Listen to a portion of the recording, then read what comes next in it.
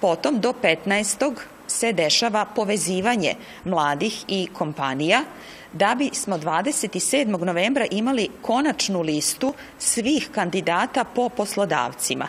Znači listu onih koji su se uvezali i dogovorili o saradnji, da bismo dalje od 28. novembra do 14. decembra radili na zaključivanju trojnih ugovora. Oni u ovom periodu od 28. novembra do 14. decembra zaključuju ugovor o e, sticanju tih znanja, obavljanju e, zapravo, e, da kažemo, prakse, osposobljavanju za obavljanje poslova na e, tim radnim pozicijama na koje su oni konkurisali.